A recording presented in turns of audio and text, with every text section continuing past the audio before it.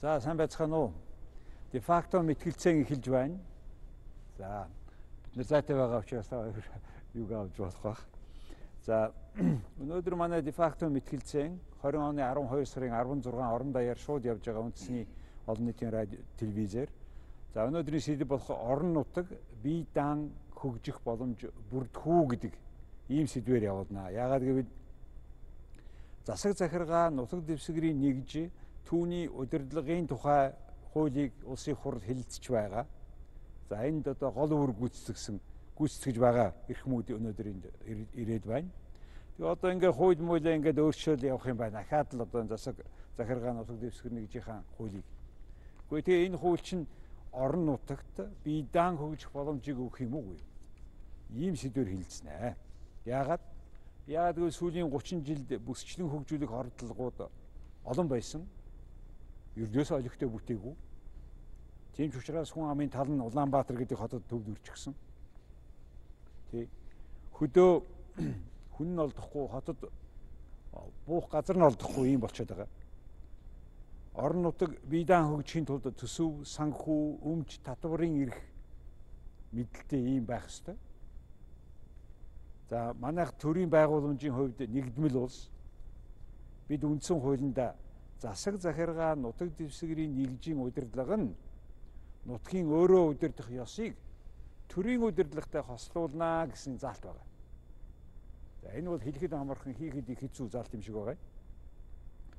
За бодит байдал дээр аймаг, хотууд, төв засгийн газраас татвар төсөв удирдлагын хувьд хэд хамааралтай бодсон байгаа. За ингээд энэ хуулийн өөрчлөлтөөр нутгийн өөрөө удирдах ёсыг бэхжүүлж орон нутагт бие даан хөгжих боломж бүрдүүлэх үгүй юу гэдэг энэ мэтгэлцээнийг эхлүүлэхээр хоёр их хурлын гишүүнийг уриад байна. Миний баруун гар талд нотлогч талаас улсын хурлын гишүүн Жамин Хорлогийн Сүхбаатар за энэ улсын сургуулийг хууль зүйн сургуулийг төгссөн эрх зүйч мэрэгжлийн хүн байна. За их хурлын гишүүн хоёр дахь удаага ажиллаж байгаа. Монгол Ардын хувьсгалт намын ерөнхий нарийн бичгийн дараагаар ажиллаж ирсэн ийм эрхэм байна зүүн гар талд няцааж байгаа хүн Жамбын Батцуур улсын хурлын гишүүн. За энэ хүн бол харин санхүү эдийн засгийн чиглэлийн мэрэгжилтэй хүн. Удирдлагын академид магистр, Солонгос удирдлагын академид төгссөн хүн байна. Сүхбаатар аймгийн засаг даргаар ажиллаж байсан 2008-аас 16 онд 8 жилийн турш. За мөн 17 оноос Монгол улсын ерөнхийлөгчийн орон нутаг хөдөөгийн хөгжил хариуцсан зөвлөхөөр ажиллаж ирсэн. А 20 оноос улсын хурлын гишүүн. За ингээд би одоо манай мэтгэлцээнийхэн дөрмийнхаа дагуу манай нотлогч талд та яагаад орон нутаг биедан хөгжих боломжийг энэ хуулийг өөрчилснөөр бүрдүүлж байна гэж үзэж байгаа юм байна. Тэгэхээр одоо засаг захиргааны төслийн нэгж төвний удирдлагын тухай аа шинжилсэн найруулгын одоо энэ төсөл улсын хурлын эцсийн хэлцүүлгийн шатанд орж ирлээ. За энэ хуулийн төслийг боловсруулах гол үндэслэл бол өнгөрсөн одоо жил үндсэн хуульд оруулсан нэмэлт өөрчлөлтөд уялдсан. За мөн улсын хурлын сонгуульд ялт байгуулсан Монгол Ардын намын сонгуулийн мөрөө хөтөлбөр агуулгатай бас уялдж байгаа. Тэгэхээр юу юм бэ гэхээр зэрэг эцэц та сая одоо хэллээ орон нутаг гэж байна. Орон нутаг бие даан гэж. Орон нутаг гэж юу юм бэ гэж. Тэгэхээр энэ бол нийслэлээс бусдыг нь бол зарим хүн хэлдэг юм шигээр бас ойлгочсон явж идэг. Тэгэхээр энэ бол тийм биш юм л да. Орон нутаг гэдэг бол одоо хууль зүйн ойлголтоор бол энэ эрх мэдлийн багтаамж энэ талаасаа бол аймаг нийслэл сум дүүрэг баг хорог хэлж. Тэгэхээр энэ бол үндэсний хэмжээнд улсын төвчнөөс гадна яг одоо төр иргэн хоёр хүн холбоотой байдаг баг хорооноос эхлээд тэгээд аймаг нийслэл сум дүүрэг баг энийг хэлж байгаа. Тэгэхээр баг хороо гэж юу юм бэ гэж. Тэгэхээр энэ хуулийн маань гол амин сүнс юу юм гэхээр зэрэг Монгол улсын төрийн байгууламжийн хувьд нэгдвэл байхын зарчмыг хангаад иргэд тэр орон нутгийн төвшөнд тэр ажил амьдралын асуудлыг шууд болон өөрийнхөө төлөөлөгчдөр уламжлан оролцох тухай асуудал байж байгаа. Тэгээ энэ энэ хуулийн гол агуулга бол энийг хангах чиглэгдсэн ийм одоо хуулиа. Тэгэхээр яг саяны энэ хэлж байгаа асуудал төр тэр орон нутгийн ажил амьдралд үйл хэрэг гэж юу юм бэ гэхээр баг хорооны төвшөнд нэг ажил амьдралын асуудлууд байх нь байна. Сум дүүргийн төвшөнд нэг ажил амьдралын асуудлууд байх нь байна. Аймаг нийслэлийн төвшөнд асуудлууд байх. Ингиж бид эрэм билсэн. За энэ одоо нэгж гэдэг бол мэдээж төр хүн амаа нутаг дэвсгэр нь засаглаж удирдахын тулд тодорхой нутаг дэвсгэрт хуваарлаад төр иргэний одоо доктортой холбоосыг шат шатанд нь ингээд тодорхойл явчих. Тэгэхээр бие даан хөгжих гэж энэ хуулийн гол амин сүнс бол хэд хэдэн асуудлууд байж байгаа. Бид нэр 28 жилийн хугацаанд хийж чадаагүй орон нутгийн ажил үүргийг заагалж байгаа. Хин юу хариуцах юм гэж. Тэр нь жишээлбэл бид нар чи одоо ингээд ярихаар зэрэг одоо ч телевиз эргүүлээ харахаар зэрэг баг хорооны ажлыг баг хорооны төвшөнд хариуцж байгаа засаг даргын ч ярьж идэг. Сум дүүргийнх нь иргэдийн хурлын төлөөлөгч нь ч ярьж идэг. Их хурлын гишүүд нь ч тэрийг адилхан ярьж идэг. Бүх шатнд ерөнхийлөгчөөс ахуулаад одоо ингээд баг хорооны сатар бүгд нэг юм ярьдаг болсон. Тэгэхээр эн чинь хөдөлмөрийн хуваар та бүхэн мэдж байгаа тийм ээ. Аливаа ажил гэр оронд ч гэсэн ингээд ажил үүргийн хуваар гэж байх хэрэгтэй. Тэгжиж сая одоо юм тодорхой болж тэгжиж сая тэрний хариуцлага үүрэх хэрэгтэй. Тэгэхээр Монгол дутагдаад байгаа нөгөө хариуцлага дутаад байна, хяналт дутаад байна гэдэг нь хин юу хариуцсан бэ? Тэгэхээр энэ хуулийн одоо би их олон зүйл байгаа ч гэсэн хамгийн гол концепцийн маш том өөрчлөлт хийж байгаа нь баг багийн чиг үүрэг, сумын чиг үүрэг, хорооны чиг үүрэг, дүүргийн чиг үүрэг, аймгийн чиг үүрэг, нийслэлийн чиг үүргийг тус тусад нь ингэ заагалж байна. Үүнийг дагаад л нөгөө одоо энэ яригдаад олон жил яригдаад байгаа шийдэгдэхгүй байгаа асуудал төсөв, томилгоо за тэр сая таны хэлдэг бидаа бидаах тухай асуудал чи ерөөсөө ойлголт нь юу юм бэхээр улс төрийн хувьд одоо тодорхой шийдвэр гаргах асуудлаар тэр орон нутаг ямар шийдвэр гаргах юм. Захиргааны хувьд одоо бас ямархан бие даасан эрх мэдэлтэй байх юм. Төсөв санхүүгийн хувьд одоо аж ахуйн хувьд ямар эрх мэдэлтэй байх юм. Эдийн засаг гэдэг ярих юм бол эдийн засаг аж ахуйн талаар. Тэгэхээр энэ асуудлуудыг ярьж байгаа учраас энэ хуулийн хувьд бол бидний одоо хамгийн гол хийж байгаа үндсүүлд оруулсан нэмэлт өөрчлөлтийн хүрээнд бол бид өмчийн удирдлага одоо өмч эдийн засгтай холбоотой нутгийн удирдлагын харилцааны асуудал за хот тосгоныг бас одоо хөгжүүлэх хүрээнд энэ засаг захиргааны төтөсийн нэгжийн зарим чиг үүргийг хот тосгон шилжүүлэхтэй холбоотой асуудлууд гэдэг юм. Энэ шинээр томьёогдсон асуудлуудыг энд оруулж өгсөн. Өмчийн харилцааны асуудал явж байна. Удирдлагын харилцааны асуудал явж байна. Одоо бидний шулуух юм хурал засаг даргын бүрэн эрхийн асуудал ч гэсэн энд явж байгаа. Гэтэ энэ хуучныхаасаа эрс ялгаатай энэ хурал засаг даргын бүрэн эрх нь тэр орон нутгийн чиг үүргийг төв орон нутгийн чиг үүрэг гэж заагалсан тэр орон нутгийн чиг үүргийг хариуцах хүрээнд ингэж тодорхойлогдож байгаа. Одоо бид нар чинь тэгж шít бидэнд бие даав өчгөд эрх үүрэг дутаад байна, хариуцлага янз бүрийн юм хуваарлахгүй байна гэдэг хад суур нөгөө мөн чанар суур нь бид нар чинь тодорхойлог үүсэн байхгүй. Энэ орон нутгийн чиг үүрэг. Тэгээ энд одоо хууль нь анх удаа орон нутгийн чиг үүргийг зааж өгч байгаа. За одоо тэгээ бидний чинь амьдрал дээр гарч байгаа авц зогсоолын арчилгааг хэн хариуцах юм бэ? Одоо ингээл ярих дүүрэг дээр тавьчихсан байна. За энэ одоо нийслэлийн хэмжээний авц зогсоолын төлөвлөлтийн одоо зохион байгуулалтын асуудал нь нийслэлийн чиг үүрэгт байж байгаа шээ ингээ гэрэлтүүлэг гэдэг ч юм уу. За тэгээ сумын тухайд ярих юм бол одоо эмнэлэг одоо манайд ч нэг юм асуудал ш телевиз үзэж байгаа хүмүүс сайн мэдж байгаа. Одоо өнөөдөр амьдрал дээр сургууль сурж байгаа хүүхэд нь тэр сумын одоо харьяаллын хүн. А тэр сургууль нь болохоор зэрэг юутай. Тэр сургуулийнх нь удирдлага нь болохоор зэрэг хөрөнгө тэр зардал нь урсгал зардал эднэрх яамнаас харьяалтай. А тэр сумынх нь одоо нөхөр тавьж байгаа нөхөр нь аймгийн харьяалтай. За жишээл гэдэг чинь энэ болгоныг бид нэр бол энэ хуулиараа бол шийдэж өгж байгаа. Тэгээд таны хэлдгээр бие даахын үндэс гэдэг бол хин юу хариуцах нь тодорхой байхыг л хэлж байгаа. Тэрийг хөрөлж. За юу нь болохгүй байгаа тэгээд.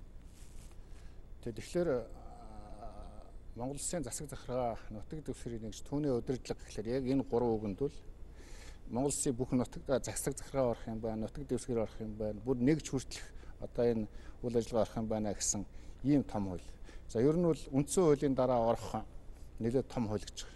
Энэ бол тэгэхээр энэ хуулийн одоо 1992 онд анх гарсан. Тэгээ 2006 онд шинжилсэн найруулга хийсэн. Нийтдээ нэг одоо 24 удаа одоо өөрчлөлт орж исэн. За тэгээд одоо одоо шинжилсэн найруулга болж орж ирж байна. За тэгээд ажлын хэсэг байнгын хороонуудаар дамжаад маргааш үндсэндээ баг их хурлаар ороод зогсож байна. Тэгэхээр энэ дээр юу хэлэх гээд байна вэ гэхээр уртлын хуулиудыг хараад тахлаар бол 92 онд бол нэг нийгмээс нөгөө нийгэм шилжиж ирсэн. А тийм учраас одоо энэ иргэдийн төлөгчдийн урал орон нутгийн өөрөө удирдах хэсний байгууллага чинь анх шинээр байгуулагдчихсан. Засаг дарга энэ хэллэгүүд чинь шинээр бий болж ирчихсэн. Тэгэхээр тэр хуулийг хараад байхад бол үзэл баримтлалын гэхээсээ илүү процессын үйл ажиллагаа яаж засаг даргаа сонгох, яаж иргэдийн хурлаа сонгохын гэх мэтлэнгийн ийм зүйлүүд бий болж ирсэн. За 2006 оны үндсэн хууль бол нэлээд бас үзэл баримтлалыг нэлээд тодорхойлж гаргаж ирсэн ийм зүйлүүд байж байгаа.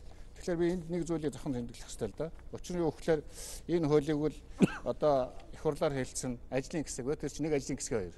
А гэхдээ дор дэд гисгүүд гэж эрдэмтэн докторууд багш мэрэгд одоо судлаач нар ингээ байж байгаа. Тэр олон хүмүүс энэ хуулийг өчтөл маш их одоо хөдөлмөр зүтгэл хугацаа зарсан бол тодорхой. За мэдээж одоо сая Сүхбаатар гишүүний хэлснээр олон чигүүрэг, олон сайн зүйл байгаа боловч би нэгэнт одоо бас няцаагч талаас учраас энэ нэг цаг цагийн дотор чи бүх заалтыг хэлж болохгүй учраас бас одоо болохгүй байгаа зүйлүүдийг хэлье гэсэн ийм зүйлүүд байж байгаа. Тэгэхээр энэ 2006 оны хуулийн үдлээр хуулийн үзэл баримтлалыг ингээд судлаад үзэхэд бол ийм зүйл байгаа. Та сайн сонстоо. Удирдлагын босоо тогтолтоо давгамгаалж эрх мэдлийн төвлөрөл ихснээс орон нутгийн байгалийн баялаг ан амтан ашигт малтмалын талаар явуулах төрийн бодлого алдагдах төрж байна. Өмч хөрөнгө, төсөв санхүү, боловсон хүчний хэд төвлөрсөн бодлого зэрэг нь орон нутгийн иргэдийн бухимдалд хүрэх нутгийн удирдлагын байгууллагаас төрийн захиргааны төв байгууллагатай харилцах харилцааг бүдүүрүүлэх улмаар төр засгийн ажилд муугар олзлоосгүй болж хурж байгаатай холбогдуулж энэ хуулийг засаж байна гэжсэн байгаа байхгүй. Гэтэл энэний дараагийн өөрчлөлтүүд бол энэ асуудлыг байнга дордуулж ирсэн гэж үзэж байгаа миний хувьд. Тэгээ одоо энэ хуулиар бол маш олон хөдний хөдөлмөрөөр одоо үндсэн хуулийн дараа орох энэ одоо бүх нэгжийн засаг захиргааны энэ харилцааг зохицуулах хууль маш давуу олон талууд байгаа. Давуу олон талууд бол Скватер гişүү ярьж байна. А гэхдээ энэ одоо ухарчгаа талууд маш их байна. За энэ ухарчгаа талуудыг хараад үзэхдээ бол шууд улс төрийн тал давмгаалаад байна гэж ингэж үзэж байгаа. Жишээлбэл одоо миний хувьд бол Улаанбаатарын утааг, Улаанбаатарын төвжирлийг үлбэ Улаанбаатар хоттой өөртөө ноцолтод бол дийлэхгүй гэж ярьдаг юм байна. Олон жилийн өмнөөс ярьжсэн. Хөдөө орон нутгийг хөгжүүлэх замаар, аймгийг томруулах замаар, хотыг хөгжүүлэх замаар, суманд одоо сайхан амьдрах замаар, багтаа сайхан амьдрах замаар Монголын энэ хүмүүс энэ том нутаг дэвсгэртэй таран одоо амьдрах юм бол одоо Улаанбаатар хотод төгжрөөд байх шаардлагагүй, утаатай ноцолтод байх шаардлагагүй маа. Тийм учраас орон нутгийг хөгжүүлэх заашгүй шаардлагатай гэж. Тэгээ орон нутгийн хөгжил ярихлаар бол энэ хууль одоо үндсэн хууль нь болж гарын авалга нь болж гарч ирдэг. Тэгэхээр одоо энэ чиг үүрэг бол ингээд сайхан одоо скватрик шумашиг ярьж. Аймгийн чиг үүрэг тодорхой болчлоо. Сумын чиг үүрэг тодорхой болчлоо. Багийн чиг үүрэг тодорхой болчлоо. Гэхдээ нөгөө гуй дагж хүзүү гэдэг шиг энэ чиг үүргээ дагуулад томилгооны асуудлуудыг ерөөсөө улс төрийн томилгоо хийж гоод нэгдүгээр одоо асуудал буруу байна гэдэг энэ зүйлийг хэлж байгаа. Жишээлх юм бол хит төвлөрүүлж байгаа асуудал нь өөрөө мянга чиг үүргийг хөдөөд өгөөд эдийн засгийн эрх мэдлийг өгөөд татварын эрх мэдлийг өгөөд байгаа ч гэсэн тэрийг томилох эрх нь өөрөө дээштэй холбоотой дүүжлээтэй тохиолдолд бол энэ одоо хөгжлүүд ирэхгүй маа гэсэн. Ирэхгүй. Томилгоо хэд төвлөрнө гэдэг нь юу гэсэн үг вэ? Ерөөсөө ингэ гэсэн үг. Жишээлх юм бол энэ гүйцэтгэх засаг аймгийн засгийн дараа сумын засаг дараа багийн засаг дараа энэ одоо Монгол Улсын хууль дүрмийн дагуу нутаг төсөлт үйл ажиллагаа явуул. Тэгэхээр энэ дээр ямар асуудал орж ийнэ гэхээр ингэж байгаа. Энэ 56-гийн 5-ын 1 дээр дээд чатны засаг дараа ерөнхий сайд одоо хуулийн ийм ийм даалтыг дагсан хүнийг тухайн хуралд санал болгоно гэж. Тэгэхээр аймгийн иргэдийн хурал, сумын иргэдийн хурал, багийн иргэдийн хурал хүчгүй болж ирж байгаа. Ягаад гэвэл дээрээс ингээ босоо удирдлагууд орж ирж байна гэсэн санаанууд байж байгаа. За энэ нь юу гэж хэлэх гэж байна гэхээр Монгол Улсын үндсэн хуулийг үндсэндээ бас зөрчиж байна гэсэн санааг илэрхийлээд байгаа. Ягаад гэвэл Монгол Улсын үндсэн хуулинд бол нутгийн өөрөө удирдахсны дэд байгууллага бол иргэдийн төлөөлөгчдийн хурал байна. Иргэдийн төлөөлөгчдийн хурал нь өөрөө одоо хамгийн одоо олонхороо асуудлаа шийдвэрлээд явнаа. Үнийг л одоо дээд байгууллага няцаах боломжгүй гэдгийг л энийг одоо үндсэн хуулинд бүр заачсан байж байгаа. Тэгэхээр энэ асуудлыг бол ингээд байж байгаа. За дээр нь засаг даргаыг энд асуудал нь бол манайх ингээд хуулийн хэлцүүлгийн яс харангуут бол ерөнхий сайд аймгийн засаг дарга хоёрын хоорондын харилцаа шиг бодоод байгаа байхгүй. Энд ч дээд шатны засаг дарга гэхлээр чинь ерөнхий сайд аймгийн засаг даргаыг буцаах, санал оруулах боломжтой болж байна. А тэгвэл аймгийн засаг дарга сумын засаг даргаыг сумын засаг дарга нь багийн засаг даргаыг ойлгож. Энд хамгийн ноцтой заалт орж байгаа. Энэ 56-гийн 7 дээр часны засаг дарга эсвэл ерөнхий сайд одоо нэг төвчгийг томилхоос татгалзна гэж. Яагаад татгалзаж байгаа? Ямар хөөрж өчсөн янз бүрийн огт байхгүй. Зүгээр л татгалзна гэж байгаа. Тэгэхээр яагаад тэр хүнийг томилохгүй байгаа юм? Мэддэг бол осрлон дотор байгаа юм уу? Дипломгүй байгаа юм уу? Эрэгтэй болоо томлохгүй байгаа юм эмэгтэй болоо томлохгүй байгаа юм өндөр болоо томлохгүй байгаа юм намхан болоо томлохгүй байгаа улсын хурлын. Энэ хуулинд одоо маргааш батлагдах хуулинд ийм асуудал орж шүү дээ. Тэгээд яг одоо тэр нөө Улаанбаатар хотын э, дараагаар иргэдийн төлөөлөгчдийн хурал нь ихэнхийнхээ саналаар нэг хүнийг томилсон байсныг ерөнхийдөө батлахгүй байж байгаад дахиад тэгэхээр энэ үл өөрөө үндсэн хууль зөрчиж байгаа үзүүлэлттэй л гэж би э, хэлж байгаа юм л да.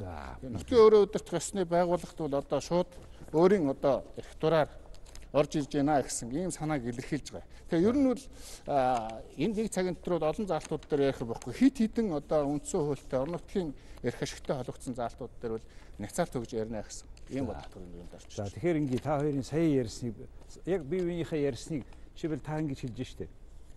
Одоо болтол энэ орон нутаг бий дагаад хөгжиж чадахгүй байгаагийн нэг суурь шалтгаан бол энэ хуулийн дотор байгаа заалтуудаасаа юун тодорхой биш гэхдээ зэрэг хинийн юу хийх нь тодорхой болсон. Нэг бодлын хүн болгон юм болгоныг хийдэг юм шиг нөгөө бодлын хариуцлага дээрээ байхгүй учраас энд хөгжихгүй байна гэж ярьж байна. За та болохоор биш томилгоон төвлөрөө дээрээсээ бүх юм өдөрлөх ийм заалтууд одоо байгаа учраас эн чи явахгүй маа гэж хэлж байна. Тэгэхээр яг яг энэ бие биенийхэн энэ санаан дээр хэлээ. Жишээлбэл одоо юу одоо хэл та ярил одоо энэ томилгооны хувьд одоо энэ энэ дээр одоо энэ асуудлыг яаж таацч байна? Гэхдээ яг ер нь Батсуур гишүүний энэ яриад байгаа зүйлийг бол бид нар байнгын орон дээр ажлын хэсгийн төвшөнд нэлээ ярьсан. Гэтэ нэг сэтгэлгээний нэг юм хандлагаасаа бид нар бас гарах хэрэгтэй. Тэр нь юу юм бэ гэхээр одоо ингээд нэг хууль хийлцгээр нэг тийм дарга байгууллагын эрх үүрэг дээр ингээд анхаарал тавиад идэв байхгүй одоо томилгоо өдөрт. Тэгэхээр бидний энэ хуулийн гол концепц бол түрүүн танилцтай суур эхлээд энэ төвшөндөө юмас алгая. Одоо ингээд ярихаар хурал тэр одоо засаг дарга гэдэг чинь бол нэг л одоо байгууллага нэг этгээд. Тэр этгээдийн асуудал дээр одоо ингээд сая хэлж шít асуудал байна гэж. Тэгэхээр бидний хувьд бол энэ удаагийн зүгээр орж ирсэн олон би асуудлууд байгаа гэсэн дээ. Сая та бол хэлж бие даах жишээлбэл би орон нутгийг бие даах асуудал дээр бидний шинэ юм ойлголт гарч ирж байгаа. Тэр нь юу юм гэхээр зэрэг орон нутгийг хамгаалт гэдэг юм бий болгож. Тэр нь нутгийн өөр өдөртөх нь 330 сумын иргэдийн хурал, 21 аймгийн иргэдийн төлөөлөгчдийн хурал энэ а 1600 700 орчим энэ одоо багийн асуудлууд үүж. Тэгэхээр энэ дээр бид нутгийн удирдлагын төлөөллийн нийт хэрэгцүүтгээд гэж бий болгож байгаа. Тэгэхээр энэ төрийн яг төрийн бас байгууллага бол биш. Төр одоо олон нийтийн байгууллагын завсрын нийтийн захиргааны байгууллагыг бий болгоод тэр нь төв засгийн газартаа төсвийнхаа боловсруулалтын асуудлаар, хууль тогтоомжийн төслийн асуудлаар дээр нь бас тэр орон нутгийн эрхийг одоо хөндлөнгөөс дайрч одоо халдаж орох юм бол хамгаалтын шүүхэд нэхэмжлэл гаргах. Засгийн газартаа хэлэлцээр их. Жишээл ийм асуудлуудыг хийж өгч. За түрүүний тэр хэлсэн энэ Батсуур гишүүний хэлж байгаа асуудал дээр юу өөрчлөгдөд байгаа юм бэ гэхээр бид бол үндсэн хууль бол хэвээрээ энэ чиглэлийн заалт бол хэвээрээ. Энэ дээр юу ихээр хурал нэр дэвшүүлэгч бол засаг даргаад. А томилогчин дээчний засаг даргуу аймаг нийслэлийн тухайд ерөнхий сайд байна. Тэгэхээр энэ зарчим бол яг хэвээрээ байна. А зүгээр саяны яриад байгаа юм нь ямар асуудал үүсэж байна вөхөр бидний одоо ажлын хэсэг дээр бас улсын хурлд олонхын бүлгийн гаргасан бодлогын дагуу хийгдсэн бас ажил томьёол энд юу явж байгаа юм гэхээр зэрэг ерөөсөө өнгөрсөн жил үндсэн хуулийн хилэлцүүлгийн үеэр юм бол засаг даргаыг хурлаас хит хамааралтай байдлаас одоо багасгаж төв засгийн газрын төлөөлөгч юм бол тэр төлөөлөгчийн томилгооных нь давуу байдлыг хангаж өгье гэж явсан. Тэгээ энийг яг гүйцэд хийж чадаагүй. Тэгэхээр бид яасан бэ гэхээр эхний ээлжинд энэ хөдөө хуулийнхаа өөрчлөлтөөр хурал нэр дэвшүүлэх эрхээ хадгалж байгаа ч гэсэн хурлын нэр дэвшүүлэх тэр одоо эрхэнд хурлын төлөөлөгч тэр хурал дахь намын бүлгийн хажуугаар нөгөө томилгож байгаа этгээд маань одоо жаргал сайхан таныг би одоо аймгийн дараагаар томилох томилох процесс явуулж байхад ерөнхий сайд нь тэр иргэдийн хуралд аймгийн одоо иргэдийн хуралд өөрөө хурлын төлөөгч өөр хүнээр дэвшүүлсэн ч гэсэн үгүй энэ жаргал сайхныг би бас одоо санал болгож байна. Та бүхэн энийг одоо нэр дэвшүүлэхдээ одоо сан тураалтанд оруулж өгөөч гэж ийм боломжийг олгож өгч байгаа. Тэгэхээр энэ одоо Батсуурин гишүүн нарын ийм үзэл бодолтой усуд энийг дээрээс төвтэйдгүү томилдог байжж халдаж орж ийн гэдэг байгаа байхгүй. Уг нь зүгээр хурлын төлөөлөгч өөрсдөө ингээд нэр дэвшүүлэх саналгаа гаргаад тэгээд тэр нэр дэвших олохын санал авсан нь дээшээгээ ерөнхий сайдад саналаа ингээд явуулдаг. Тэгээд тэрийг томилхоос нэг удаа татгалцдаг. Энэ байдал чинь за зөв гэж. Тэгэхээр бидний хийж байгаа юм бол эцсийн үндэ тайлбар нь юу гэхээр эцсийн үндэ энэ бидний энэ санал болгосон хүн чинь хурлаас хэрвээ дэмжлэг авахгүй болвол авахгүй болвол тэрний дэвсэн үний ерөнхий сайд томилох хэсгээ өөрөө шийдэн. За томилохгүй нэг удаа татгалцлаа гэхэд бид өөр хүний нэр дэвшүүлэх боломжийг олгож байгаа. Тэгэхээр өөр хүний нэр дэвшээд ороод ирвэл тэр ерөнхий сайд бишэл татгалцах хэрэггүй. За за тэгэхээр хурал нэр дэвшүүлэх хийгээд дээр нь томилгоон дээр тэр дээчднийхээ засаг дараагийн юм уу ерөнхий сайдаа шахалт үзүүлж эцсийн хөвзийг шийдвэрлэх хэрэгээ бас алж байгаа. Энэ хоёрыг чи огтлцсан байгаа байхгүй юу? Одоо хуулийн дээр аливаараа явж байгаа. Таны ярьж байгаа. Одоо миний ярьж байгаагаар явж байгаа. Тэгэхээр томилгоотой холбоотой бидний тодруулах юм бол сая Улаанбаатар хотод болсон шиг ийм үйл явдал байж дахиж давтагдаж болохоор тийм хуулийн төсөл явж байгаа юм байна гэж ойлголоо одоо. А за таны хувьд бол биш тэ төрөний энэ бие даагаад хөгжиж болохгүй гол шалтгаан болохоор хинэн юу хийх нь тодорхой биш. Нэг болоо бүгдээрээ хариуцлага хүлээдэг юм шиг, нэг болохоор хүлээдгүй юм шиг байсаас болоод орон нутаг бие даах боломжгүй байна гэж Скватер гişүү ярьж штэ. Та өөрөө энэ аймгийн Сүхбаатар аймгийн засаг даргаар 8 жил ажилласан хүн. Тэгэхээр энэтэйгээ холбоотойгоор яг саяын тэрэн дээр ямар заалт оруулж байгаа юм.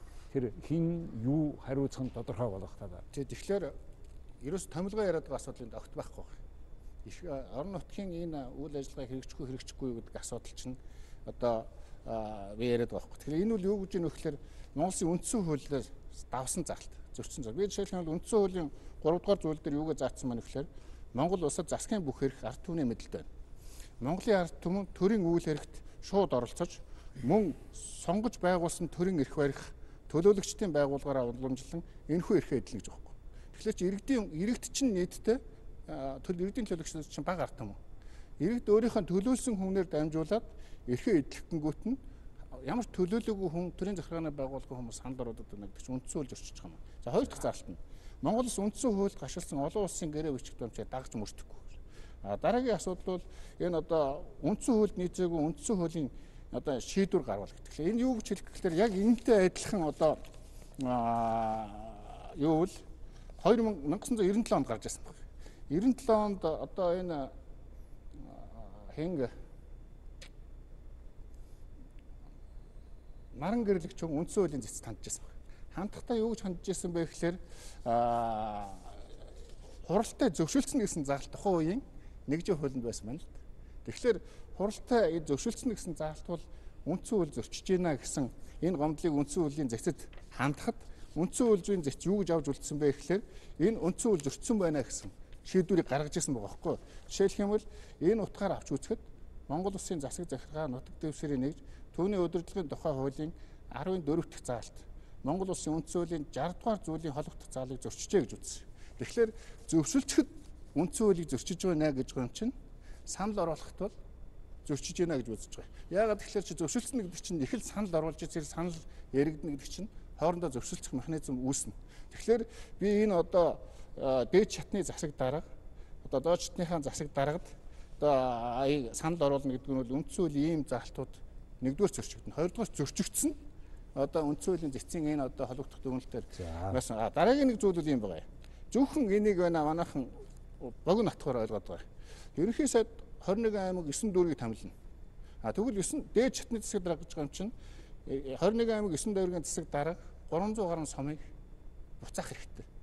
300 гаруй сом нь 1000 гаруй багийн засаг даргаыг буцаах хэрэгтэй. Бас 100 гаруй хорон даргаыг буцаах хэрэгтэй болчихж байгаа. Тэгвэл би танд нэг жишээ ярьж өгье л да. За нэг дугаар нэг багийн хорл болжээ. Багийн хорл болсон чинь зөндөө юм болж тэнд нэг одоо Батгээд өвгөн 50 км газраас мөртөө шөгсөж ирээд багийнхаа хоролцооч Тэгээ одоо жаргал сайхан гэдэг хүнийг сонгож сонгоод явсан чинь сумын засаг дарга ямар ч үг өчиггүйгээр нөгөө багийн даргаыг буцаач. Яасан? Хөөлж өртсөн юм уу? Дипломгүй юм уу? Муухай харагдсан юм уу? Авгааг нь уурлуулсан юм уу? Тэ ямар нэгэн үйлдэлгүйгээр шууд буцаачих байхгүй. Тэгэхээр ингэ буцаачихлаар энэ үл яаж нөхлөөр Монгол улсын хэмжээнд зөвхөн аймгийн засаг дарга ерөнхий сайдын хоорондын харилцаа биш 33 300 гаруй сум 1000 гаруй багийн бужигна үүсэх бүрэн боломжтой болж байгаа. Тэгэхээр тэгэхээр энэ дэр зүгээр жишээ татвал хүмүүст одоо бас одоо яг юун тухай яриад байгаа. Жишээлбэл одоо манай Батсүрээ Сүхбаатар аймаг дээр чадлаа л да. Сүхбаатар аймгийн засаг дарга баруун урт сумын засаг дарга дээр нэр дэвшүүлэлтийн ажил явуулахад бид одоо энэ Батсүрээ хэлээд байгаа нь одоо байж байгаагаараа л бай гэж байгаа. Энэ томилгоо момлоо бүх юм. Тэгэхээр энэ бид нар хэлж шít энэ иргэд чинь Гэхдээ энэ хурлаасаа гад илүүтэй дээрээсээ одоо хариуцлагатай байгаад удирдлагын босоо тогтолцоог бас тодорхой хэмжээ баттгаад энэ шийдвэрийг чинь нэгдмэл байдлыг хангаад өгөөч. Тэгэхээр тэр дээчтний байгуул шатны засаг дарга тэр одоо ерөнхий сайд гэдэг юм энэ тэр доочтныхаа юм дээр илүү томилгоотных эрхийг эдлээч гэж. Гэхдээ энэ дээр бидний хийж өгж байгаа эцсийн үндэ нэг юмыг өөрчлөхгүй. Жишээлбэл одоо Скватер аймгийн засаг даргад баруун урт сумын засаг дарга одоо юу гэдгийг балданг томилуулахаар ингээд санал болгохоор Скватер аймгийн засаг дарга одоо биднийхаар бол юу гэхээр зэрэг томилуулахдаа тэр юу яаж байгаа юм. Тэр баруун урт сумын иргэдийн хурл бол дээд боловсролтой төрийн албанд 3-аас доошгүй жил ажилласан шүүхийн шийдвэрээ өргүү ялгүй ийм хүнийг дэвшүүлэх ёстой. За ингээд Скватер аймгийн засаг даргад тэр баруун сумын иргэдийн хурлаас ингээ хүн нэр дэвшүүлэхээр ингээ яригдэж байна тэнд хурал дээр. Тэнгүүд Скватер аймгийн засаг дарга тэр баруун сумын иргэдийн лөгчдийн хурал дээр одоо жаргал сайхныг нэр дэвшүүлсний хажуугаар тэнд харж яснаа. За Батсүр бол одоо энэ Скват баруун сумын засаг даргаар илүү ажил болцоотой юм а гэд нөгөө Скватер аймгийн засаг дарга Батсүрийг санал болгож байгаа. Тэгэхээр хурлын төлөөлөгчд тань дээр санал хураана. а миний одоо аймгийн засаг дарга скватрын тэр Батсуурын санал болгосон дээр ингээд хурлын төлөөлөх санал. Тэгээ нэг хүн гарч ирнэ. Тэр нэг гараад ирсэн хүн магадгүй одоо миний аймгийн засаг даргын санал болгосон хүн нь гарч ирч чадахгүй жаргал сайхан гараад ирэхээр би харж үзээд нэгдүгээр хуулийн шаардлага саяны хангасан хүн мөн үгүй. Хэрвээ шаардлага хангаагүй байх юм бол оо жаргал сайхан бол шаард хуулийн шаардлага хангахгүй саяны. Буцаа. Тэгээ буцаач. Тэнгүүд тэр баруун урт сумын иргэдэлэгчтэй хурал нь а өөр хүнийг за Батсүрэг ч юм уу миний урд нь санд болгосон чи өөр нэг хүнийг санд болгоо. Тэгэнгүүт тэр Скватер аймгийн засаг дарга явах хөхөр тэрийг татгалзахгүй шууд хурлын хоёр дахь удаагийн тэр санд болгосон хүнийг шууд томил. Тэгэхээр энэ үндсэн хуулийн нутгийн өрөө удирдах ёсыг төрийн удирдалтаа хослуулна гэж манай Монголын ч нэг зовлон байдаг байхгүй. Бусад орны нутгийн удирдлагад гүйцэтгэгч нь бол өөр одоо төв засгийн газрын төлөөлөгчөөс өөр хүн байдаг. Манайд бол хоёр эзний нэг зарцсан шүү дээ. Юу гэхээр засгийн газрын төлөөлөгч нь засаг дарга болдог бас хурлын гүйцэтгэгч нь болдог. Тэгэхээр энэ хоёрын огтлцлыг хийхэд зарим кейс дээр зарим тохиолдол дээр одоо Батсуурийн зарим одоо яриад байгаа шүүмжлэл магадгүй ингээд ортой үнэлттэй болоо. Гэхдээ дийлэх тохиолдол одоо байгаа явж ирсэн энэ юм а болиулъя. Нэр эцсийн дүндээ хуралд нөөрт нэр дэвшүүлэх хэрэг нь байж гин. А нөгөө дээдчдийнх нь хүнд нь томилох хэрэг нь байж гин. Гэхдээ дүндээ явсаар угаад хурал нь дамгаалаад байгаа байхгүй. Одоо байгаа хуулиар бол иймгээр явж байгаа.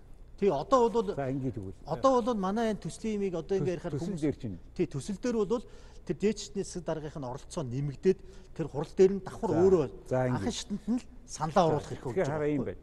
За томилгооны асуудал дээр байдал яг ийм маягаар маргааш их хуралд орох гэж байна. За тэгэхээр энэ томилгооноос гадна засаг захиргаатай холбоотой өөр нэг асуулт байна. Иргэдийн одоо ингээд сонирхоод байгаа. Энэ та нар хууль мууд цааш наашаа өөрчлөхдөө хотыг сум болгоод сумыг хот болгоод ингээд дураараа дургаад ингээд нэг өдөр хотын иргэн байсан чинь сумын иргэн болчиход ингээд ард түмнэрээ ингээд янз бүрийн юм тоглоод болж ихгүй.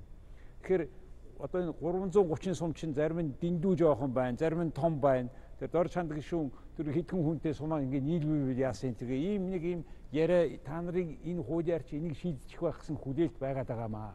Тэгэхээр засаг захиргааныхаа тэр нэрмийг зарчмыг өөр болгохоос гадна одоо энэ сум мумыг нэгтгэсэн тийм арга хэмжээ энэ хуулиар явах уугүй юу? Энэ чинь миний хэлж удаа. За. Тэгэхээр ингэн л да. Энэ энэ энэний цаана маш их юм нуугдж байгаа. Тийм учраас зөвхөн хүн харахад бол томилгоо юм шиг харагдаад байгаа байхгүй. Жишээлбэл орон нутгт энэ олон чигүүргээр үйл ажиллагаанууд очиж штэ. Уул уурхай, лиценз тэр чинь нөгөө эдийн засаг хөгжин, эдийн засаг хөгжих юм бол самын хөгжил болоо явчихна. Тэгэхээр э, дээд чатны дарга доод засаг дарганы доод чатны засаг даргаыг ямар нэгэн хуулийн болцлогоор буцаана гэдэг бол өөрийнхөө цүнх өргөчийг Google-дэгээ тавина гэсэн үг. Тийм үстэй. Боцохгүй тул тэр хүн чинь хийсэн бүхнийг хийн шүү дээ. Тийм учраас ерөнхий сайдын гартаа бүх засаг дарга нарын төлхөөр гарт орж ирнэ гэсэн.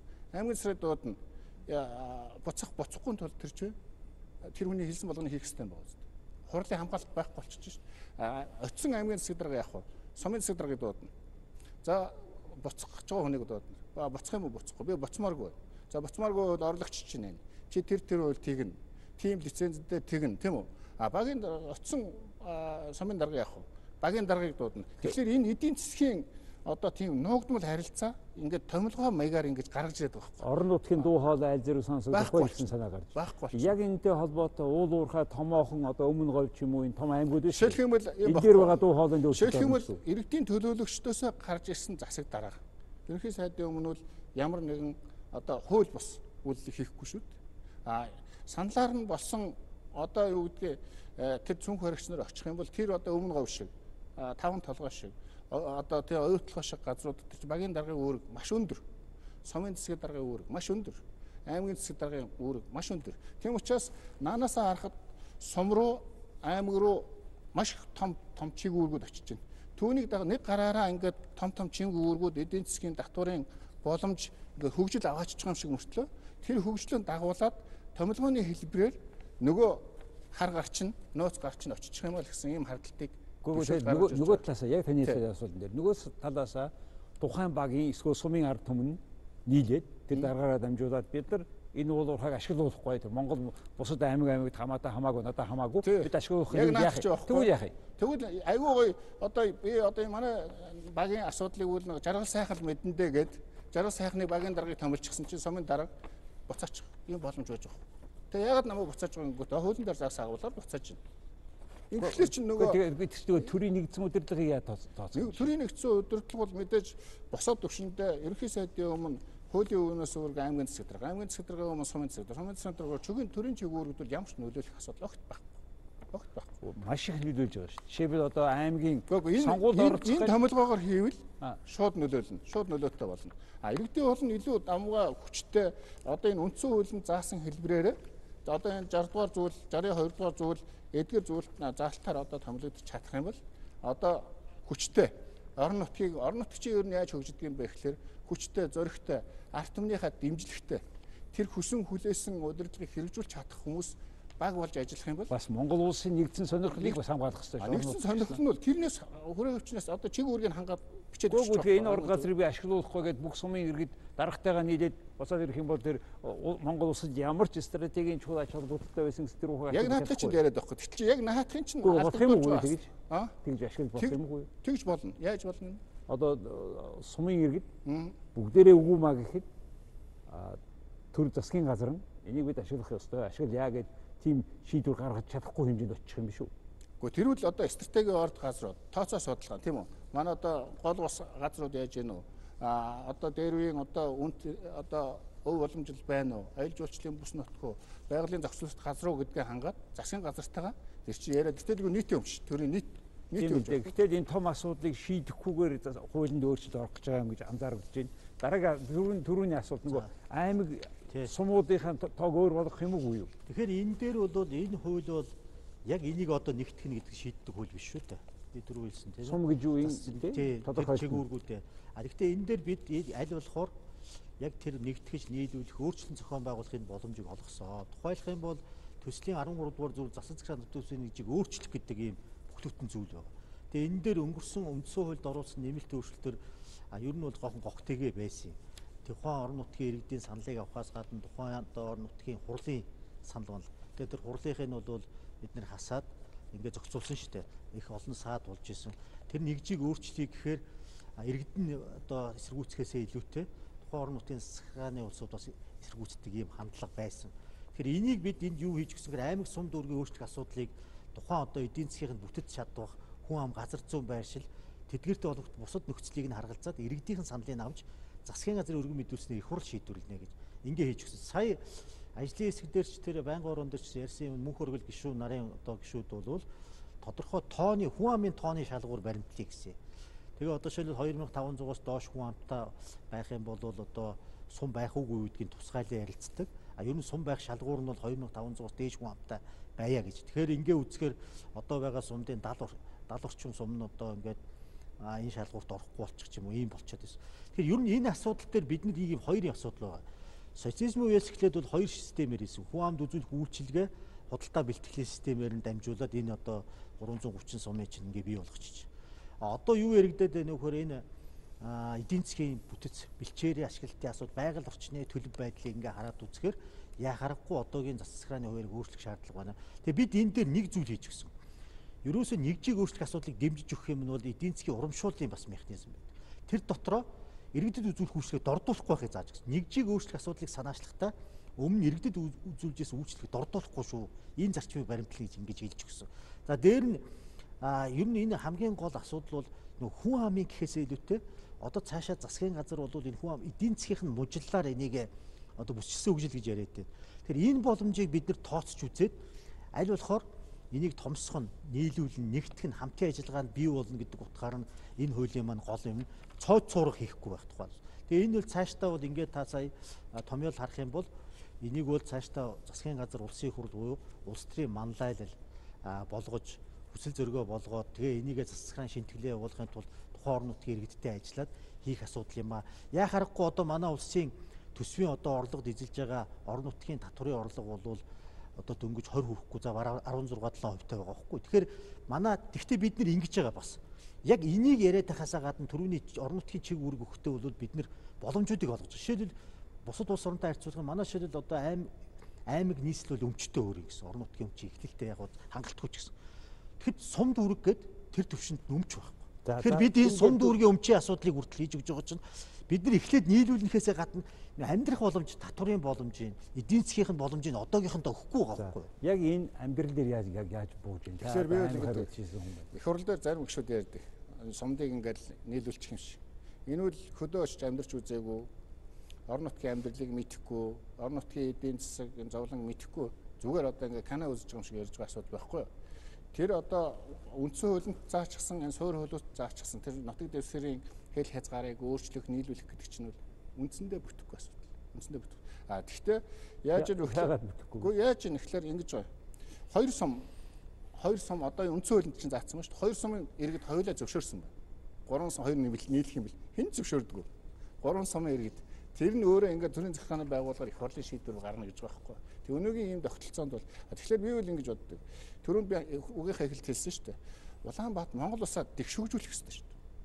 Энд чи хоёр өөр Монгол болчихлоо шүү Гэхдээ харин дэлхийн тул Монгол. сумууд чинь нэгдэхгүй болохгүй. нэгдэх биш. Сум суманд нь хөгжүүлэх хэрэгтэй шүү. Сум суманд нь хөгжүүлэх боломжгүй шүү. А? Хөгжих боломжгүй Одоо зөндөө Ер нь бол мал аж ахуйтай суурилсан яг тэгж яриад байгаа. Одоо таа ч гэсэн бас тэр талын хандлагыг зур. Мал аж ахуй чинь талдагвар одоо бэл талд бэлчин. Бөөгнөрлөөгөө дагаад мал бөөгнөхгүй. Тэгвэл малчин хүний эмнэлгийн үйлчлэгийг яах вэ? Соёлын үйлчлэгийг яах вэ? Хүүхдийн сургууль соёлын үйлчлэгийг яах вэ? Тэг нэгтгэн гээд одоогийн 50 км-д байгаа газрыг нэгтгэлээр төрөөгөө явь тараад 100 км-д очих юм. Тэгэхээр энийг зүгээр зохистой хэлбэрээр нь зохицуулах хэрэгтэй болохоос автоматар нэгтгэн гээд явах юм бол ахаал одоо дампуурлахаар руу орно. Өнөөдөр хөдөөгийн хүмүүс тийм ч орлоготой биш. Арай ч нэг хөдөө хэдэн малтай, сумын төв дээр нэг гашаатай, нэг хэд гурван нэг жоохон байшин барилгатай байж байгаа. Тэгээд нэгтгэж байгаа нэгэд одоо хаашаа юу болох гэх юм тийм ээ? А тэрний оронд харин одоо Улаанбаатарт байгаа бөөгнөрлөлийн хүмүүсийг татварын бодлогоор жижиг дунд үйлдвэрлэлийн бодлогоор жижигдүүгийн бодлого явуулж аймаг дээр төвлөрүүлэх. А суман дээрээ төвлөрүүлэх. А сумын хүмүүс мал аж ахуйтайгаа хоршин ажиллах, газар тариалангаа эрхлэх, гар үйлдвэрлэлээ эрхлэх, мал аж ахуйгаа хөгжүүлэх, махны үйлдвэрлэлээ одоо а, дамжин өнгөрөх ийм байдлаар явахгүй бол энэ Монгол улсын чинь энэ том нутаг дэвсгэрийн тусгаар тогтнолыг зөвхөн эхлийн зэрэг хамгаалдаг асуудал биш шүү дээ. Энэ одоо сая 500 км квадрат нутагт чинь бүр захын тэр элсэн говьд нь уул усанд нь малчд байж иж, малаа хариулж иж Монголын эдийн засгийг одоо насаараа ноолуураараа махаараа тижээж байгаа хгүй. Тэгэхээр тэр хүмүүсийг бид нар одоо эрүүл мэндийн боловсролын бодохгүйгээр бодохгүйгээр зөвхөн автоматар төвлөрүүлэн самыг нийлүүлчих юмсан. Том бол хөгжинэ, төвлөрөл байвал хөгжинэ гэсэн байдлаар. сумын төв гэдэг ойлголт нэг, тий. бэлчээр гэдэг ойлголт чинь шал өөр. Тэгэхээр сумын төв дээр жишээл хоёр хоёр жижигхэн сум байснаас арай том сум ороод нэг имж хоёр имж биш нэг имж үйлчлээ. Гэх мэтэр ийм ийм өрөөгөөж гарахгүй юу? гарахгүй. Яг тэгэхээр одоо захын нэг сумаас захын одоо малч 200 км дээ. Одоо манай Эрдэнэ цагаан сум байлаа гэж бодох чинь төвөөсөө хамгийн цааталт байгаа малч 200 км таг. За Эрдэнэ цагаан сумыг нааш нь татъя. Тэр малч 200 км-тэй арай ч эхнэр нь очиж төрж үзүүлж харуулж одоо боловсролын хүүхдийнхээ боловсролыг авч байгаа юм тэрийг хааш нь юм хааш нь нийлүүлэх. А харин зүгээр нэг юм зүйл байж болно. Аймаг тойрсон одоо Хинтээ аймгийн мөрөн сумч гэдэг юм уу? А ойрхон 10 20 км-т байгаа энэ сумуудыг бол зохицуулт хийхийг үүсэхгүй. А тэгэхгүйгээр өө- өнөөдөр чинь малын бэлчээрийн одоо даац гитэрж юм чинь. Тэр чинь төвлөрөл үүсэхгүй л гэсэн үг шин. Улам тарж ил энэ мал аж ахуй хөгжих одоо тэр одоо бэлчээрийн мал аж ахуй хөгжих боломж нь өгөхөөс зүгээр сумын төвөнд тойруулаад юм уу, бригадын төвөнд тойруулаад юм, аймгийн төвөнд тойруулах юм бол тэгээд. Монгол эдийн засаг Тэгэхээр яг яг энэ асуудлыг тойроод ийм судалгаа Монгол улсад байна үзэл баримтал. Яг ямар эдийн засгийн, экологийн тэр бэлчээр те бүх нөхцөл ямар одоо нэгждэр нэгжийг бид сум гэж нэрлээд эдийн засгийнхын хувьд байгуулах юм бэ? А ямар хот гэж байх юм бэ гэсэн ийм урдчилсан судалгаа байна уу? Судалгааны хувьд гэхээс илүүтэй нөгөө хууль бодлого бол биш шүү дээ. Хот байгуулалтын тухай хот тусахны зүйн байдал одоо энэ хуулийг батлагдсны дараа бол нийслэл Улаанбаатар хотын тухай хууль, хот тусахны зүйн байдлын тухай хууль, төсвийн тухай хууль, бусад хуулиудад бол ер нь өөрчлөлт орно. Тэгээ сая таны хэлдэг асуудал дээр энэ энэ л хоёр юм хувааж ойлгомоор. Ер нь бол энэ захиргааны хуваарийг томсгох бол бодлого мөн. Энэ бодлогыг бид нэр 20 жил ярьж хийж чадахгүй. Түрүүн Батцуур гишүүний хэлж байгаа нь бол өөрөлдөө тэр сумдын тухайд бол тэр одоо хоорондоо зайтай их том нутаг дэвсгэртэй сумд бол өөр. А хитрхи тэр аймгийн төвтэй ойрхон бол бие биентэйгээ ойрхон сумдын хувьд бол тойргийн зохион байгуулалтын үйлчлэгээнд оруулах үүднээс шаардлага энэ томсгох шаардлага бол байна. Тэгэхээр энэ тооцоог хийсэн гэж асуугаад байгаа. Энд бол сумын чиглэлээр хийгдсэн судалгаанууд бол засгийн газрын төвшөнд бол байдгийг. Одоо ингээд нийт сумдын хувьд бол жишээлбэл одоо миний мэдж байгаа судалгаа бол юу гэхээр зэрэг Монгол улс бол нэг 10 аймаг 100 гаруй ийм сумтай бол байж хахад яг болохоор ингэж байна гэж ингэж хийсэн судалгаа байдаг. Тэгэхээр энэ юм дээр ийм юм хийж байгаа. Манай энэ хуулийн төсөл дээр нэг орж байгаа чухал юм байгаа. Түрүүн би хэлсэн. Сум дүүрэгт маш их одоо юугаа өгч байгаа. Орлогын нь бааз суур эдийн засгийн хүчин чадлыг тухайлах юм бол би хэлээ л да. Хүн амын орлогын албан татварыг бид сум дүүргөөр шилжүүлж байгаа. Одоо бол аймаг нийслэлээр байгаа шүү дээ. Аж ахуйн нэгж байгууллагын орлогын албан татварын 40%-ийг бид нар аймаг нийслэлд өгье гэж. Үл хөдлөх хөрөнгийн татвар газрын төлбөрийг бид сум дүүрэгт өгье гэж. Яг энэ энүүгээр одоо та газрын төлбөр үл хөдлөхөөр хүн амын орлогонд одоо манай энэ орон нутгийн татварын орлогын чинь үндсэндээ 90% нь тэр юу байгаа байхгүй юу? Газар энэ газрын төлбөр хүн амын орлогын албан татвар аа тэгээд тэр юу байж байгаа? Хүн ам газрын төлбөр аа тэгээ энэ энэ хэд байж байгаа. Тэгэхээр энэ энэ орлогуудыг чинь бид нэр юу рүү шилжүүлж гэхээр сум дөрвөөр шилжүүлж байгаа. Одоо энэ сум дөрвөг чинь тийм байхгүй. Би түрүүнд тань жишээ татсан. Сургууль сурж байгаа хүмүүс болохоор тэр сумынх а тэр хөрөнгө нь аймгийнх тэр урсгал зардлынхын төсөв сайдын багц тийм өмчийг аймагаас гадна сум дээрээ бий болно. Одоо бид нар суманд дүүрэгт өмчтэй болгож байгаа. Дээр нь татврын шилжүүлж байгаа. Одоо энэ хүмүүс одоо зарим юмдаа санал нийлэхгүй магадгүй шүүмжж магадгүй. Бид хүн амын орлогын албан татвар газрын төлбөрийг бид нар сум дүүргийн одоо орлого болгож ингэ шилжүү. Энэ бол бодиттой шүү дээ. Энэ зарчмын чинь маш одоо тий. Гэхдээ энэ бол ерөөсөө маш том Одоо энэ бол орцсон. Орон нутгийн татварын орлогын үндсэн хэсэг сум дүүргүүр шилжиж байгаа. Тэгэхээр энэ ямар хэмжээнд байгаа тэгээд. Тэгэхээр ингэж байгаа хгүй. Сая чиг үүргөөгөө татвар эрх мэдэл орон нутаг аймаг юу чиг үүргээр очиж гин гэж штэ. Тэгэхээр энийг ер нь юу хөгжлөх хангаар хүн авчирдаг. Тэгэхээр чи орон нутгийн өөрөө удирдах яс өөрөө хүчтэй байж, зангарахтай байж, хөгжлөө төлөвлөж ийж а тэрэнд нь ард иргэд нь иргэдийн төлөөлөгч гэдэг шүү. Иргэдэд төлөөлөд байгаа. Ард иргэн эргэн хүн одоо ихтгэл үнэмшилтэй байж тэнд хөгжил ирнэ. Хөгжил ирнэ. Тэгэхгүй одоо ингэж бод. Зарим нэгэн одоо дор чандагшуун дээр ярьжсэн а зарим нэгэн буруу одоо тийм жишээ дурдаад байдаг байхгүй ганц нэг алдаатай. Ямар одоо хэдэн хүүхдтэй сургуульд ямар том сургууль барьцсан байна вэ? Хуучин илгээлтийн эзэж байсан. Илгээлтийн эзэдийн хөдөө татхад яах вэ? Хамгийн ихэд одоо соёл боловсрлоор энэ ханганч гэдэг юм уу тийм ээ. Тэгэхээр ийм байдлуудаар бол одоо мэдвэл орон нутгийг хөгжүүлэх замаар энэ одоо төвлөрлийг сааруулна. Төвлөрлөх саарах замаар эдийн засаг бэхжнэ гэж би үзэж байгаа. Тэгэхээр би яаж нөхлөө нөгөө нөгөө л зүйл рүү ороод байгаа би. Наан ингээд далдлаад хийчихсэн. А улс төрийн хомгоо бодлого явж байна гэж би үзээд байна шүү дээ. Ингээд эрх мэдлийн өгж байна. Төвний дагсан татвар хөрөнгөлүүдийг өгж байна. Тэгээд эрэнгүүт иргэдийн хурлын нөгөө иргэдийн хурлыг хүчгүүдүүлээд тэргүүлэгчгүй болгож гэдэг юм уу тийм ээ зөвлөлттэй болгоно гэдэг юм уу аа тэгээд дагаад одоо юу гэдгийг дээд шатны засаг дарга гэдэг ингээд шат шатанда Google-тэй болох гэж байна гэж би үзэж байгаа. Тэгээ Google-тэй болчих юм бол эзэндээ үйлчлэн өгөхөөс иргэддээ үйлчлэхгүй шүү дээ. А иргэд өөрөө хүссэн а сонирхсон тэр засаг дарга тэр төлөөлөгчөөрөө дамжуулж төрдөө оролцох юм бол хөгжил ирнэ. Яагаад? Тэр хүн ихтгэл байна. Ихтгэл үнэмшилтэй байна өөрийнхөө хамгийн чадна гэсэн үнийг сонгож байгаа шүү дээ. А тэгээд тэрийг шахаад ажиллах хэрэгтэй. Яг энэтэй холбогдуулаад бас нэг заалтыг би ярьчих төхөө. Яаж юм гэхээр төрийн захиргааны албанд иргэдийн хурлын төлөөлөгч ажиллах боломжийг хааж ийн л да. Яаж болох вэ? Орон нутгт чинь хамгийн одоо гайгүй чадвартай, чансаатай, мэрэгчлээ, мэдлэгтэй хүмүүсийн хүн сонгохыг хүсэж байна. Тэгвэл аливаа нам ялахын тулд хамгийн сайн хүмүүсээ одоо хүмүүсээр сонгуул сонгогдоод гараад ирсэн хүмүүс нь ажиллах хэрэгтэй биз.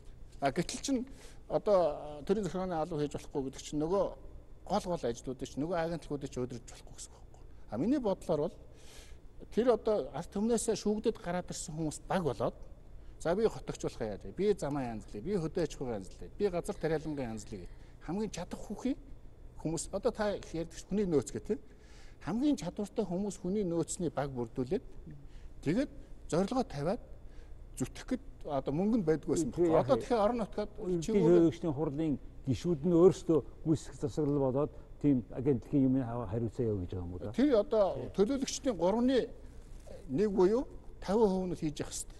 Тэгээ давхар дээд энэ чинь. А энэ дээр бол жишээлбэл суман дээр оруулаад ирж байгаа байхгүй юу? Энэ хууль маргаашийн батлагчж байгаа хуулийн дээр дээ. Сум дүүрэг дээр оруулаад ирж байгаа байхгүй юу? Суман дээр. Юу давхар дээд үү? Тий, давхар дээд. Тэгэхээр тэр зөв юм. А? Тэр зөв юм. Хэрвээ байдаггүй бүгдэд нь байж явах хэрэгтэй.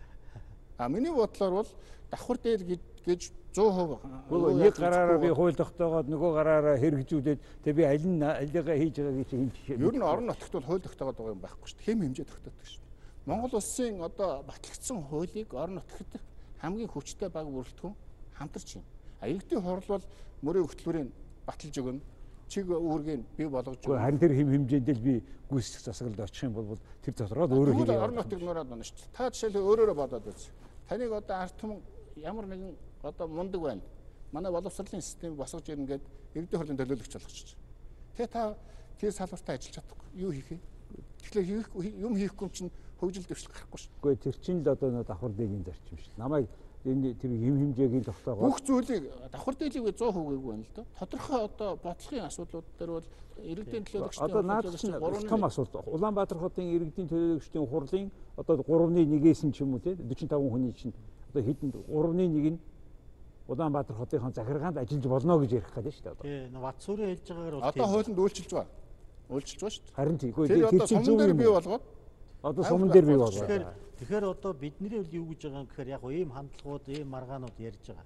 Гэтэ бид нэр төслөөр одоо энэ оруулж байгаа юм бол суманд төрийн захиргааны албаагчд бол тэр хурлын төлөөлөгчд 3-ны 1-ээс хэтрэхгүй. Яагаад гэвэл 3-ны 2 нь төрийн захиргааны албан тушаал тэр сумынхаа тамгын газрын өнгөө захиргааны албан тушаал засаг даргаадаа захирагдахгүй байж бас явах хэрэгтэй. Тэгээ яагаад 3-ны 1-ийн суманд зөвшөөрж байгаа юм гэхээр үнэхээр одоо би түрүү хэлсэн те 2500-аас доошоо сум гэхэд одоо сумд бас маш олон байна.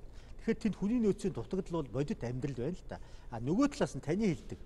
Яг харахгүй ашиг сонирхлын зөрчил, хяналт тавих чиг үүрэг, шийдвэр гаргах чиг үүрэг, гүйцэтгэх чиг үүргүүдийг холилдуулна гэдэг бол зөв бус одоо тэнд авилах цэцэгдэх, тэнд нутгархах, тэнд найзрахах, тэр ажил явахгүй байх, салгардах асуудал үүсэх байхгүй. Тийм учраас бид ичнээ зарим одоо хүн ярьж ирсэн гэсэн аймаг дүүрэг нийслэлд бол төрийн захиргааны албан тушаалд ерөөсөө урлын төлөгчийг бол ажилуулахгүй бай гэдэг ийм байдлаар хориглолт хийж байна. Энтэй бол Батцуур гişүү санал нийлэхгүй байгаа юм бэл. А гэхдээ бид нэр боломж олгосон шүү дээ. Суманд бол боловсруучны дутагдал байж байна. Одоо ийгээс нэг аймаг нийслэл дүүрэгт одоо бас нэг хурлын төлөөлөгчөөс гадна одоо тэр тамгын газартаа тэр төрийн захиргааныхаа нутгийн захиргааныхаа хэрэгжүүлэгч агентлагтай ажиллах хүн одоо олдохгүй л байв гэж дээ.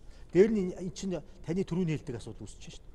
Хурлын төлөөлөгч болчоод засаг даргадаа захирагддаг албан тушаал дээр шууд очиж суучаад тэгээд яваад тэгээд тэр засаг даргийнхаа ажилд үнэлт төгөлтөөг нь хямна гэж бол байхгүй. За тэгээ маргаашийн хууль танихаар явж байгаа. За тэгэхээр саяын асуултуудаар нээлттэй үлдээд шүү дээ. Бид нар яг сүүлийнхаараа бүрэн одоо яг энэ хууль чинь саяын асуултанд бүрэн хариулж байна гэдгийг мэдэхгүй байна. Тэгэхээр хугацаа бага байгаа учраас дараагийн асуулт. Суман дээр энэ сумын иргэдийн төлөөлөгчдийн хурд энэ төр чинь улс төрийн намууд оролцох юм уу? Энийг та яаж харж байгаа? Хуулинд ямар одоо шинэ оруулж байгаа хуулинд чинь суман дээр энэ намууд чинь оролцох юм уу сонгуульд? Энэ сонгуульд оролцох оролцох эрхгүй байх тухай асуудал одоо хуулийн төсөл дээр бол явж байсан. Тэгээ одоо ардсан намын бүлэг, ардын намын бүлэг энэ асуудлаар бол а яг одоо ингээд сонгуульд орон нутгийн сонгуульд оролцох эрхийг улс төрийн намуудын ямиг хаах нь бол зөвхөмжтэй биш байна. А ялангуяа улс төрийн намын тухай хууль бол үндсэн хуульд оруулсан нэмэлт өөрчлөлтөөр бол үндэсний хэмжээнд бодлого дэвшүүлж ажиллана гэсэн реформын шинжтэй заалтууд орцсон. Тэрнийг дагад том хуулиар эрх хичээл гарах юм. Тэгэхээр энэ хүрээндээ энийг авч үзье. Тэгэхээр бид эхний тэгтээд ажлын хэсэг бол ямар байр суурьаар төлсөхээр бид алхмаа яа тэгвэл ядаж суман дээр намын бүлэг байгуулдаг явдлыг зогсооё. За тэр намууд нэр дэвшүүлэх хэрэг хадгалж байгаа. Зохион байгуулалтаа бас нэг улс төрийн хүчин тэр байгууллагуудыг хэрвээ хоригдчих шууд татан буугдчих учраас энэ бол манай нэгжийн хуулийн асуудал биш болж өөрж байгаа. Тэгэхээр бид ямар ч сан суманд намын бүлэг байгуулахгүй. Яагаад гэвэл үндэсний хэмжээнд бодлого намын бүлэг байгуулахгүй болохоос биш. Намаараа сонгуульд орох нэ. Сонгуульд оролцох яг энэ удаа хязгаарлахгүй. Яг энэ ямар ямар асуудал. Тэгэхээр ингэж байгаа. Нөгөө жор үдсэн ламаас зовлон үдсэн чаван гэж өгдөг. Тэгэхээр энэ сая бол 8 дахь удаагийн сонгуул боллоо. Би анхны 92 оны сонгуульд оюутан байсан. Тэгээ 96 оноос хойш 7 удаагийн сонгуульд орсон. 24 жил аймгийн иргэдийн суусан. Сумын иргэдийн хуралд бас давхар сууж ирсэн. Тэгэхээр би бол зовлон үтсэн чавхан заах гэдэг байна. Тэгэхээр бүх хамт асуудлууд ингээд туулаад аваад ирсэн. Учираас энэ асуудлуудыг яриад байгаа маа. Асуудал нь боловсон хүчин байх байхгүй дээ. Өнөөдөр аймгийг хөгжүүлээ, сумыг хөгжүүлээ, багийг хөгжүүлээ гэдэг асуудал бол э, одоо бодлогын асуудал шүү дээ. Бодлого хаан зан гэдэг. Бол ингээд нам гэж туйлшаад байгаа байхгүй. Бодлого нь хэсэг бүлэг хүмүүстээр туйлшрна шүү дээ. Тэгэхгүй бол одоо 15 хүнтэй иргэдийн төлөөлөгчтэй хурал байлаа гэж бодъё. 15 одоо өөр юм ярина. Нөгөө алсын хараа авах уу? нөгөө өөрийн одоо стратеги авах уу гэдэг талаасаа бол Тийм учраас суман дээр намаараа орхон зүг гэж үзэж байгаа юм. одоо юу намын бүлэггүй болсон тийм бүлгүү болгох санал явж идэв одоо. одоо тэгээ батлагчлаа одоо маргааш орчиж байгаа юм чинь Тэгэхээр намын бүлэггүйгээр хийхэд саяын тэр 15 хүн чинь 15-уудаа гарч ирэх юм магадлал нь өндөр баг уу? тэгээ тархаа олчиж байгаа байхгүй Тархаа олчиж байгаа. тархаа олж бодлого бол. Бодлого бол ер нь нэг талд одоо ингээд Манай Бат зүрийн санал бол ер нь л их хууч хэсэг байгаад байгаа. За, Тэр дээр. Ягаад үхээр одоо түрүү та зүй өсөөр явж байгаа байхгүй. Ер нь бол миний одоо улсын хурлын гишүүнийхээ хувьд миний зүгээр хувийн ихтгэл өмчлөл юу гэхээр намууд одоо төр хүччихээ бас нэг сүүлийн одоо энэ 30 жилийн хугацаанд чинь үнэхээр Монгол ардын хувьсгалт нам гэсэн ийм л бүтц байж төрийн оронд. Тэгэхээр энэ бүтцээс бид айжмаар татгалзаж явсан. Тэгэхээр тэр үед намын гүйцэтгэх үүрэг бол сум баг хорон дээр маш хүчтэй байсан. Хөдөлмөрийн хамт олон үйлдвэр аж ахуйн газраас гарч ухарсан ч гэсэн. Одоо бид сумаас ерөнхийдөө айж ухаан намын үүрэг оройлоо сулруулъя. Төр төвиж нам намсах цэг бол энэ баг хороо сум дүүрэг юм байна. Ялангуяа сум баг хороо юм байна. За сүүлийн асуулт. Улаанбаатар хотын а, юунд Сэлинг дархан энэ ч бол нөгөө хот болох хэвээрээ үсттэй. Тэр чи өөрсдийн газар нутгаа авна гэх юм бол хот газар нутгаа байх юм тэр сумынхаа газар нутгийг дахин хуваарлалт хийх юм уу? Жишээлбэл 2 3 аймгийн нутаг дэвсгэр дээр хот байж шүү дээ одоо. Энэ минийг яаж зогсоох гэж. За энийг бол энэ хууль бол ингээ гараад хот тосгонд тэр нэгжийн чиг үүрэг шилжүүлэх асуудал шийдэгчээр бас тэр боломжийг хангаж үз. Хот үндсэн хуулийн 92 оны үндсэн хуулийн хавсралт хуулинд дээр нэг үг байгаа. Улаанбаат одоо энэ дархан эрдэнтийг өөрийн удирдлагатай болох хүртэл нь аймагтай адилсах одоо статусаар явуулахыг заасан. Тэгээ үндсэн хууль зөрчигдөө явсан. Одоо бид нэр энэ хуулийг байгаа хот тосгоны эрхцүүн байдлын тухай хуулийг шинжилнэ. Тэгээ ирэхээр таны дээр яах аргагүй нэг асуудал үүснэ. Аймаг тэр дархан уул аймаг, Орхон аймгийг татан буулгах хэсэг А тэгээ сумдын хуваар тэрэн дээр улсын зэрэгэлтэй энэ хоёр хот аймаг сумтай яаж харилцах үүдэх асуудлыг тодорхойлно. Энэ дээр засгийн газар хэд хэдэн үйлдвэр ажиллаж байгаа. Хотын газар нутаг гэж гарч ирэх юм. Тэгэхээр одоо улсын зэрэгэлтэй хот юм чинь өөрийн гэсэн эдэлбэр газартай байх хэвээр аймагт адилсах статус шүү дээ чинь. Тэгэхээр зэрэг аймагтайгаа бас зарим талаар газрын харилцааны талаар бас уягдах юм байх хэвээр. Тэгэхээр энэ асуудлын шийдэл бол яг өнөөдөр бол энэ хуулиар шууд тодорхойлсон биш. Энэ нээж өгч байгаа асуудал. За яг яг энэ асуудаар та Тэг концепцаа эхлээд шийдэх хэрэгтэй. Би танаас нэг асуулт асууя. Жишээлбэл та төвлөрлийг дэмждэг юм уу? Одоо дэмждэг юм. Төвлөрл одоо Улаанбаатар төвлөрөөд байхыг дэмжиж байна. надад асууж байгаа. Танаас асууж байна. та юу надаас бас асуулт асууж. Тэгэхээр Тэгэхээр а, тэр тэр тэр талаар Гэхдээ төвлөрлө гэдэг чинь нөө шүү дээ. Жишээл эдийн засгийн жишээл 3 хүний хооронд 8 болбол маш бага тийм үү? 3000 3 сая өөр эдийн засгийнх нь өгөөж. Тэгэхээр ямар төвшин тэр эдийн засг нь авч явах хэмжээний эргэлт байна? Тэрүүгээрээ л явмаар байгаа. А ер нь бол Монгол улсын нэг том зовлон бол бид цөөхүүлээ. Сөхөө гişүн бол төвлөрлийг дэмжих үү дэмжихгүй. Гэхдээ төвлөрлийг бол дэмжиж. Би бол ингэж бодож байгаа. Монгол улс 92 онд нэг нийгмийн халаад нэг шин төрөө байгуулах ажил хийсэн. Тэгэхээр бид нэр тэр төр чинь угаасаа манай энэ төр чинь сул хаус орчинд үүссэн байхгүй. Тэгэхээр бид тодорхой газараа энэ чанга атгалт байх хэрэгтэй. Атгачаад гараа хаан суллах уу гэдгийг шийдэх хэрэгтэй. Гэтэл одоо бидний энэ өнгөрсөн хугацаанд төвлөрлийг сааруулна гэж ярихаар энэ бүх шинээр бий болж байгаа юм чи яаж задлах юм? А төвлөрөл, эс төвлөрөл гэдэг чинь юу гэхээр төвөөс цугдах хүч байгаа төвлөрсөн эрх мэдлийг. Тэгэхээр одоо бид нар харин өмчийн хувьд, эдийн засгийн хувьд, захиргааны эрх мэдлийн хувьд шилжүүлж шүү дээ. Одоо бидний энэ хуулийн дээр иргэдийн оролцооны эрх байж байна. Өөрөөсөө шууд шийдвэрийн төс санаачлах эрх бид нар өгч байна. За Тэгэхээр вэвэл ингэж бодож байгаа. Тэгэхээр таны хэлдгээр ингээ ингээ одоо одоо ердөөс надад 4 минут байгаа. Тэгвэл. 2 2 минутаар та бүхэнд хаалтын хийх боломж хэлье. Саяын бидний ярьсан юм дотор зөндөө юм түүхийг байна, шийдвэрлэгдээгүй байна. За та хаагаад өөрийнхөө санааг хэлж. Тэг- Тэгэхээр би өөрийнхөө хөгжлийн концепцийг хэлсэн тийм ээ. Ер нь бол Монгол орн тэгшөөгч өстэй. Тэгшөөгчгийн тулд бол Ёстой гэж нэг хэрэг бодит амьдрал. Тэгэхээр энийг хөгжүүлэх гол суур нь хууль байх хэрэгтэй. Тэгэхээр суур хууль чинь үндсэн хуулийн дараа хавах нэгжийн хууль байна. Тэгэхээр нэгжийн хуулийн дээр бол олон сайхан зүйлүүдийг бол бас ингээд үе шаттайгаар орж ирсэн. Гэхдээ нэг гараараа өгөөд нөгөө гараараа томилгооны зарчмаар, захиргааны зарчмаар тэрийг дагсан үйл үзэгдэх гар багийн төвшин хүртэл очиж байна. Хэрвээ тэр тэр чин та асуусан шүү дээ. Одоо Улаанбаатар хотын захирагч гэдэг жишээ асуусан дээ. Яг энэ шиг аймгийн төвшөнд аа сумын төвшөнд багийн төвшөнд энэ одоо чиг үүргээд дагаад энэ татварын эрх мэдлэн дагаад энэ эдийн засгийн эрх мэдлэн дагаад тийм ээ улс төрийн эрхийг нөгөө гараар нь суулгах ийм одоо хууль болж байна гэж ингэж үзэж байгаа. Тэгэхээр хуулийг одоо маш олон хүн хийсэн маш одоо олон сайхан зүйл болсон. Одоо энийг шинэ машин юмаа гэж бодоход дөрөв дугаар нь бол болохгүй байна.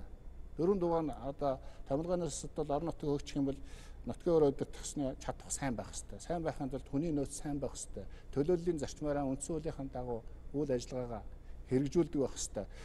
Тэрнээс тэргүүрээ дагаж хариуцлага нэгтгэх байх хэрэгтэй. Тэгэхээр сумын хүн аймгийн хүнээс хариуцлага нэхэхгүй, сумын хүн Улаанбаатар хүнээс хариуцлага нэхэхгүй.